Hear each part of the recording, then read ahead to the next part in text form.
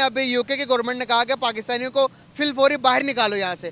क्या वजूहत है कि हमारा बाइकआउट क्यों असल में ये है मैंने भी पढ़ी है ये अखबार में कि वहाँ चौदह परसेंट जो पाकिस्तानी है ना वो काम नहीं करते। बाकी जो बांग्लादेशी है इंडियन है दूसरे मुल्क है वो काम करते हैं। मैं तो कहते हो पाकिस्तान का मतलब था ना ला इला इल्लल्लाह। लेकिन अभी उल्ट हो गया। पाकिस्तान का मतलब क्या? जो को मिलता ही खाइया। बस। कि जो लोग काम नहीं कर रहे हैं ना ये नहीं कि मोस्टली पाकिस्तानियों को वो थ्रेड कर रहे हैं।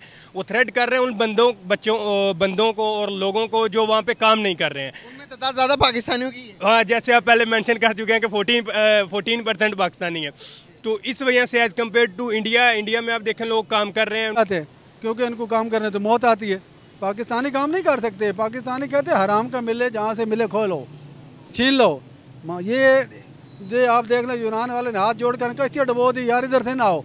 हम मर जाओ लेकिन हमारे मुल्क को से जान छोड़ो। लेकिन कहते नहीं हमने फिर भी जाना है। और उन्होंने भाई वो बिज़नेस करते हैं तरक्की करते हैं उनका काम है तरक्की करना।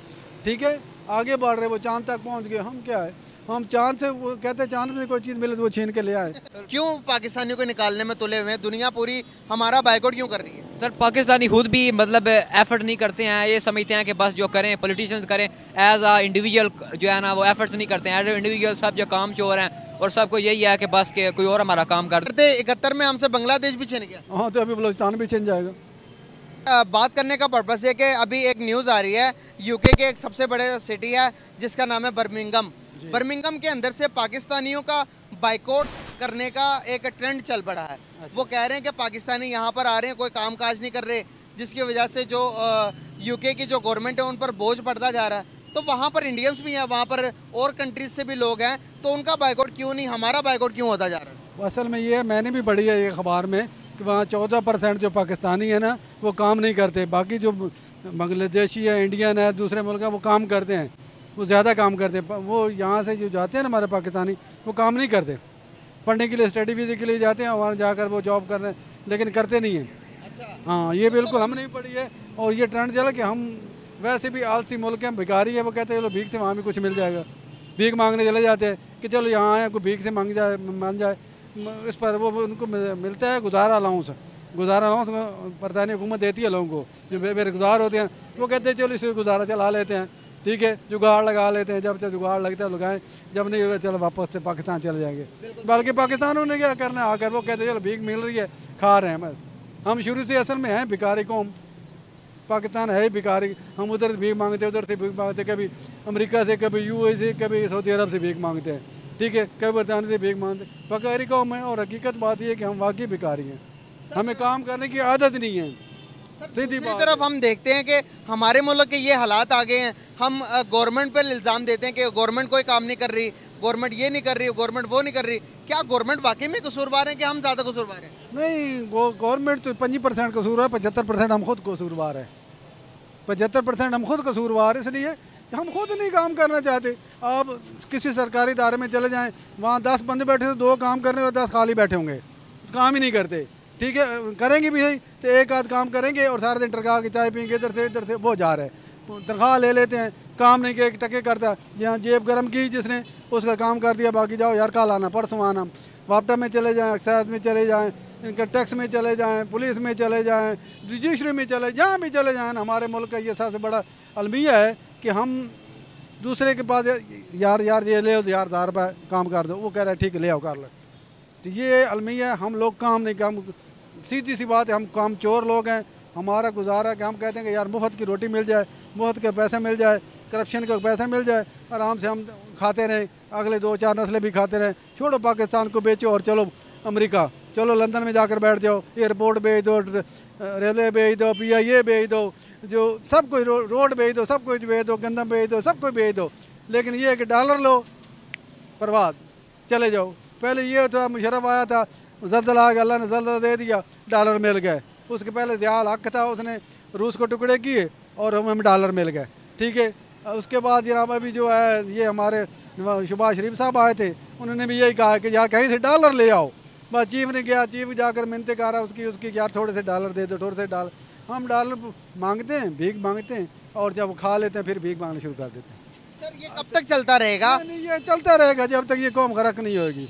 मैं सीधी सी बात बताता हूँ ये जब तक कौम हमारी बर्बाद नहीं होगी ये चलता रहेगा क्योंकि हमने एक रूटीन बना ली है कि जी आप आ रहे हैं जो झूठ बोलते हैं आप कहते हैं जी मैं आऊँगा मैं ये कर दूँगा मैं वो कर करते कुछ भी नहीं अपने पेट भरते हैं जहाँ लंदन में जाड़ बैठ जाते हैं। जो सबसे ज़्यादा करप्ट होते हैं उसको उसको ऊपर बिठा देते हैं।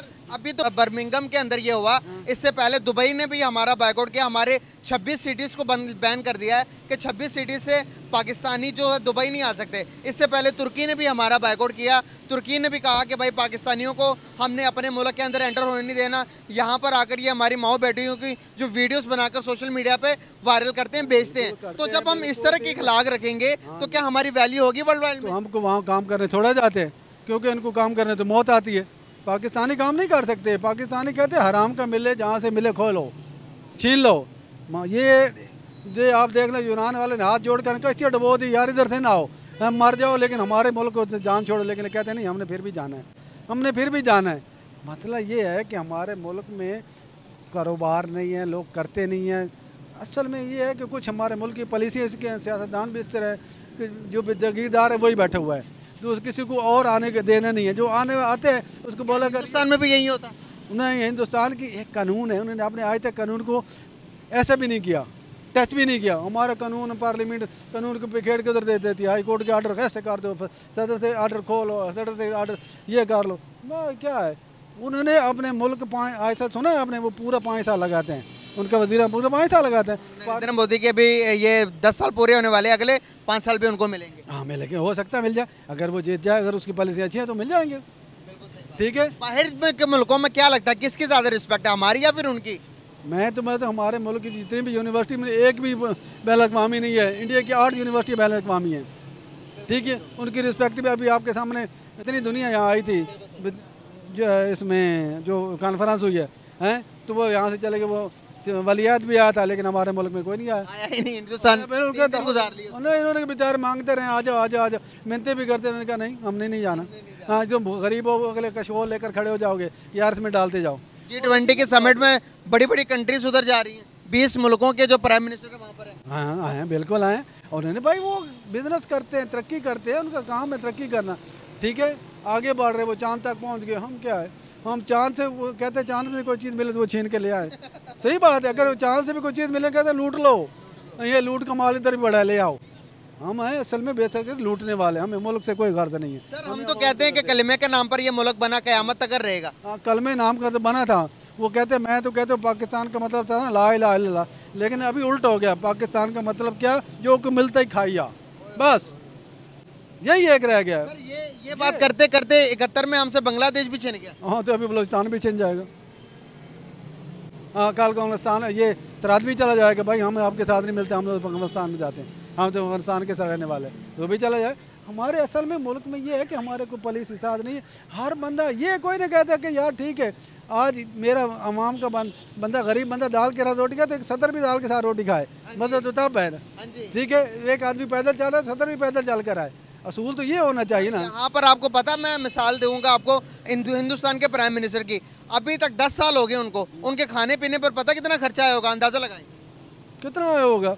मैं मैं आपको बताता हूँ मैं अंदाज़ा लगाएँ अंदाज़ा लगाया मैंने क्या हालत है मैंने एक खबर पढ़ी थी अखबार में बड़ी पुरानी कि इंडिया का जो चीफ आर्मी स्टाफ रिटायर था ना इंदिरा गांधी के दौर में तो वो रिटायरमेंट के बाद गया उसके पास कि जी मुझे एक प्लाट दे दो घर के लिए मेरा घर नहीं है।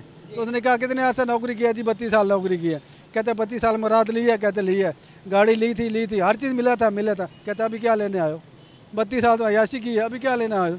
अभी इसी पेंशन मिल रही है ना? हाँ मेरा इसी गुजारा कर। क्या कैसा निज़ाम है? आपको मैं बताता चलूँ कि उनको 10 साल में उनका खाने पीने का खर्चा ज़ीरो है। एक रुपए भी नहीं आया और जो खर्चा करते हैं वो अपने अपनी इनकम से करते हैं अपनी सैलरी से करते हैं। और हमारे यहाँ पर जो प्राइम मिनिस्टर होता है हेलीकॉप्टर में नाचते जाते हैं नथिया गली। बिल्कुल जाते हैं। हेलीकॉप्टर में नाचते जाते हैं। और सबसे बड़ी बात यह है कि मैं जी कहते हैं इनके पास इतना दौलत कहाँ के? इधर से उठते हैं सुबह लंदन पहुँच जाते हैं। वहाँ से उठते हैं लंदन पहुँच जाते हैं और वहाँ भूखी मारे आम आम करोड़ों की डॉलरों की कर्जाई हो गई है और लंदन के लिए आ जा रहे हैं उनके लिए इतना पैसा है। बहुत शुक्रिया आपका सर।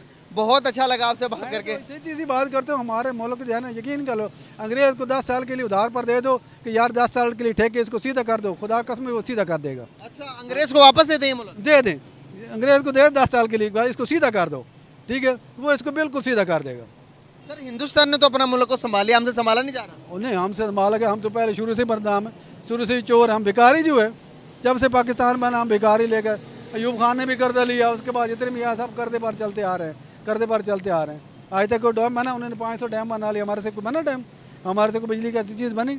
हम बात उधर से मांगो इधर से मांग इधर से मांग इधर से मांग। यही काम है। सर। गैस आप लोगों ने जानी अंकल की राय ये कह रहे हैं कि जब तक हम अपने पाओ पर अपने जिम्मेदारियाँ नहीं हो सकते। नहीं हो हो नहीं सकते।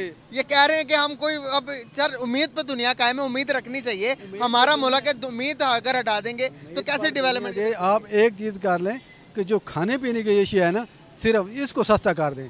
यकीन कर ये मुल्क तरक्की कर जाएगा। सिर्फ़ खाने पीने की एशिया महँगाई से तंग आकर जो जो गरीब आवाम है वो अपने इमोशंस पे काबू नहीं रख पा रहे हैं। ये कह रहे हैं कि ये मुल्क जिससे लिया था उनको वापस कर दें अंग्रेज़ों को दे दें वापस तो ये मुल्क को सीधा कर देंगे मुल्क के हालात ठीक कर देंगे। इसमें आपकी क्या राय है? अपनी राय कमेंट बॉक्स में ज़रूर दें। बहुत शुक्रिया। बहुत शुक्रिया अंकल आपका। चलते हैं किसी और की तरफ़ उनकी राय लेते हैं। आइए मेरे साथ। अस्सलाम वालेकुम सलाम। कैसे हैं आप?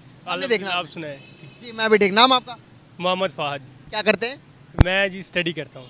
ज़बरदस्त कौन सी क्लास में? मैंने बीएस किया है साइकोलॉजी में। बहुत ज़बरदस्त यार। बात करने का पर्पस ये है कि पूरी दुनिया के अंदर बहुत सारी सिटीज़ ऐसी हैं जहाँ पर कंट्रीज़ ऐसी हैं जहाँ पर पाकिस्तानियों का बाइकआउट चल रहा है। बर्मिंगम आपको पता होगा यूके की एक बहुत बड़ी सिटी है जहाँ पर सबसे ज़्यादा तादाद पाकिस्तानियों की है। वहाँ पर इतने ज़्यादा पाकिस्तानी हो गए हैं कि पाकिस्तानी चौदह परसेंट पाकिस्तानी वहाँ पर कोई कामकाज ना धंधा कोई नहीं कर रहे। तो वहाँ की गवर्नमेंट ने अभी यूके की गवर्नमेंट ने कहा कि पाकिस्तानियों को फिल फौरी बाहर निकालो यहाँ से। क्या वजूहत है कि हमारा बाइकआउट क्यों? वहाँ पर तो इंडियंस भी है। इंडियंस को कभी क्यों नहीं बाइकआउट किया उन्होंने? यार एक्चुअली ये है ना कि जो कंट्रीज़ होती हैं मोस्टली आप देखेंगे कि वो कलेक्टिवली जो काम करते हैं ना लोग उनकी वजह से चलती है ठीक है? तो अगर हम जाएँगे वहाँ पे बैठेंगे कामकाज कर, नहीं करेंगे वहाँ की गवर्नमेंट हमें सालाना पे करती रहेगी एजुकेशन का भी देगी मेडिकल की फ़ीस भी देगी बच्चों की भी देगी तो डेट मीन्स के हम गवर्नमेंट पे बोझ बन जाएँगे। लिहाजा उस बोझ को ख़त्म करने के लिए जो गवर्नमेंट है वो चाह रही है कि जो लोग काम नहीं कर रहे हैं ना ये नहीं कि मोस्टली पाकिस्तानियों को वो थ्रेड कर रहे हैं। वो थ्रेड कर रहे हैं उन बंदों बच्चों बंदों को और लोगों को जो वहाँ पे काम नहीं कर रहे हैं। उनमें तादाद ज़्यादा पाकिस्तानियों की हाँ। जैसे आप पहले मेंशन कर चुके हैं कि फोर्टीन फोर्टीन परसेंट पाकिस्तानी है। तो इस वजह से as compare to India India में आप देखें लोग काम कर रहे हैं उनके ये हो सकता है। मे भी पॉसिबिलिटी है कि उनको इसलिए नहीं निकाल रहे कि वो लोग काम करते हैं। हमारे वाले लोग काम नहीं करते हैं। लिहाजा अगर आप गवर्नमेंट पे जो बोझ बनेंगे तो डेफिनेटली वो अपने बैंक होने से, बचने से पहले पहले आपको निकालेगी कि ये हम पे ज़्यादा बोझ ना बने और हमारे जो एक्सपेंसेस हैं, वो ख़त्म, कम हो जाएँ। उस टाइम पहले आपने देखा होगा, दुबई में भी हमारा बाइकआउट हुआ। उससे पहले आपने देखा होगा, तुर्की में भी बाइकआउट हुआ। दुनिया हमसे रिज़र्व क्यों रहना चाहती है? क्या हमारी वैल्यू क्यों कम हुई है? एक टाइम होता था कि हमारी वैल्यू बहुत अच्छी हुआ भी करती थी दुनिया में।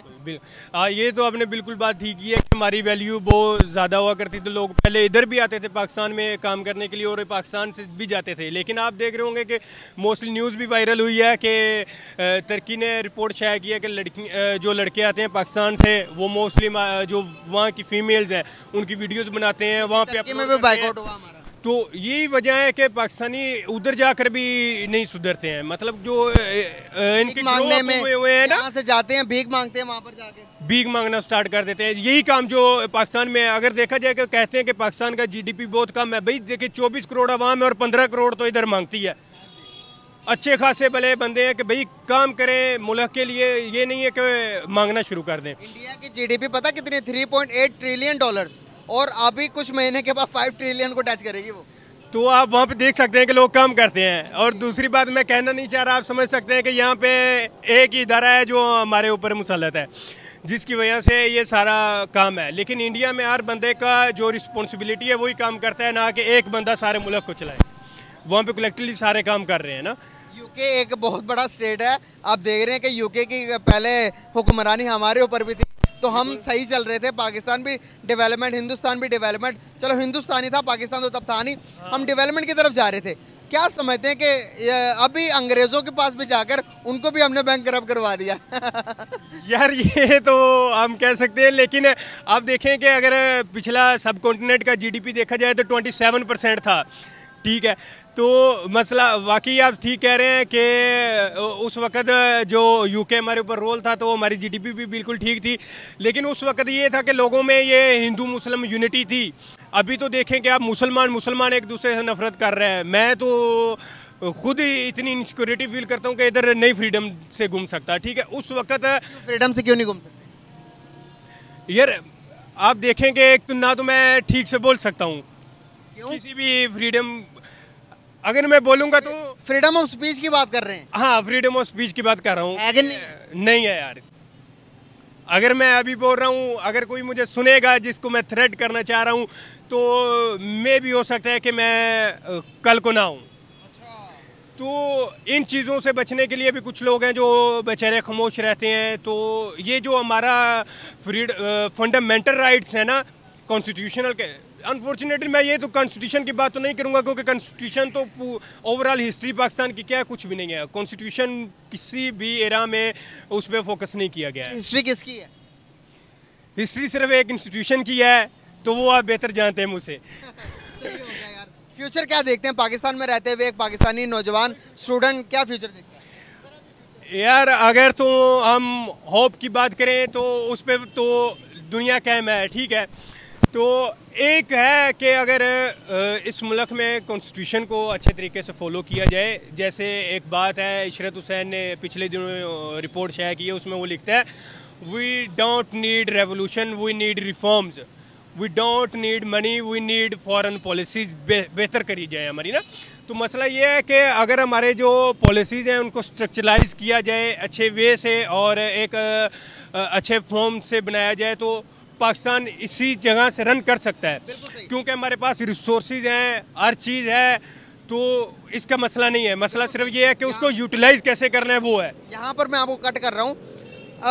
बात करने का यहाँ पर मकसद आप हिंदुस्तान को देख लें। हिंदुस्तान के पढ़े लिखे आप जैसे मेरे जैसे नौजवान बाहर की कंट्री में जाकर आप अमेरिका की सबसे बड़ी कंपनीज़ का देख लो वहाँ पर सीओस इंडियन मिलेंगे आपको। क्या. वजूहत है वो अपना जो इंडियंस अपने कंट्रीब्यूशन है अपनी कंट्री के लिए भी और जिस कंट्री में रह रहे हैं वहाँ पर फ़ायदा पहुँचा रहे हैं। तो हम हमारी तालीमत क्या हैं? हमारे एजुकेशन सिस्टम क्या है? क्या हमें ये सिखाता है कि बाहर जाकर उनको भी आपने तबाह करना है या क्या सिखाता हमें? क्या वजूहत है? हम कभी नॉमिनेट नहीं हो पाए, कभी उभर कर नहीं आए। हमारा नाम हमेशा टेररिज्म से जोड़ा जाता, हमारा नाम हमेशा उल्टी चीज़ों में आता।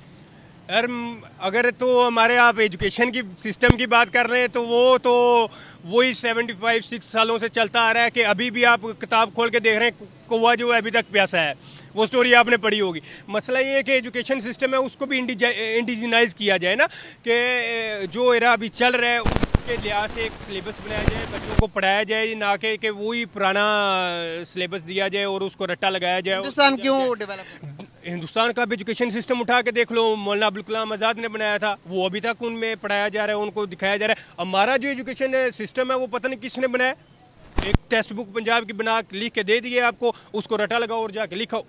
इससे आपके जो जहन है वो सिर्फ़ बिल्कुल मेमोरी आपकी स्ट्रॉन्ग होती जा रही है और ये नहीं है कि आप जाके दुनिया में परफॉर्म करें मेमोरी चेक कर रहे हैं मेमोरी टेस्ट हर बच्चे की मेमोरी। बराबर तो थोड़ी होती है। बराबर नहीं होती है। कोई- तो कोई किसी चीज़ में अच्छा होता है कोई और किसी चीज़ में बिल्कुल। तो लेकिन हमें सिर्फ़ एक ही चीज़ पे फोकस दिया जाता है एक ही चीज़ हमारे जहन में मुसलत कर दी जाती है कि आपने ये करना है और ये जाके लिखना है। थैंक यू सो मच बहुत अच्छा लगा आपसे बात करके। Thank you so much guys आप लोगों ने जानी एक पाकिस्तानी नौजवान की राय के उन वो कह रहे हैं कि पाकिस्तान के अंदर रहते हुए कोई फ्यूचर नहीं है। अगर फ्यूचर बनाना है तो अपनी एजुकेशन सिस्टम पर फोकस करना पड़ेगा और रूल एंड लॉ को सबसे पहले मद्देनज़र रखना पड़ेगा और हमें अब फोकस करना पड़ेगा अपने नौजवान नस्लों पर कि वो किस तरह से आगे आएँ बढ़ चढ़ कर हिस्सा लें और एजुकेशन अच्छी मिले। एजुकेशन सिस्टम चेंज होना बहुत ज़्यादा ज़रूरी है। बहुत शुक्रिया आपका। Thank you so much very nice with you अल्लाह वालेकुम सलाम। कैसे हैं आप? अल्लाह का शुक्र आप सुनाएँ। अल्हम्दुलिल्लाह। नाम आपका? अहमद। क्या करते हैं?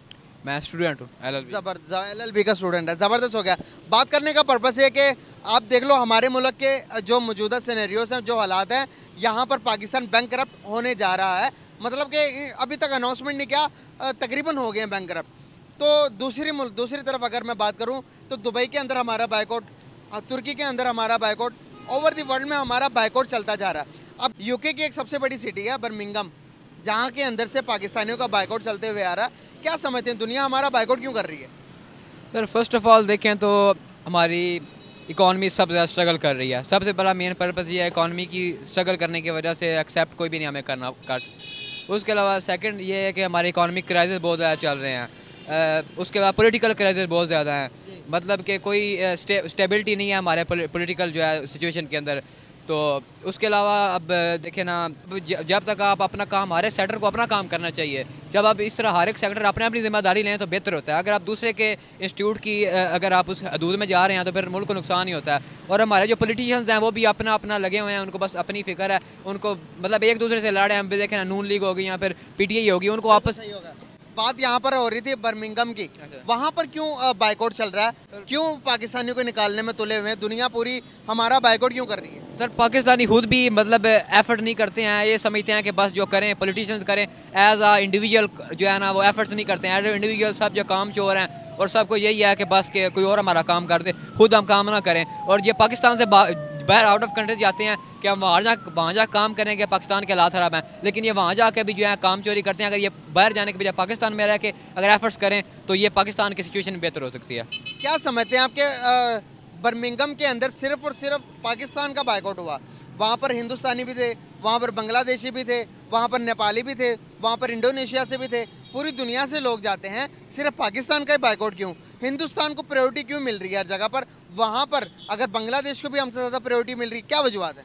सर फ़र्स्ट ऑफ़ ऑल देखिए ना तो हम, हमारी कंट्री बहुत जो है बहुत ज़्यादा डाउनफॉल हो गया हमारी कंट्री का। अब इंडिया को देखें उन्होंने जो है मून के ऊपर अपना मिशन लॉन्च कर दिया है। इस तरह बांग्लादेश को देख लें, वो बहुत ज़्यादा इंप्रूवमेंट कर रही है। हर एक कंट्री जो है वो हर सेक्टर में इंप्रूव कर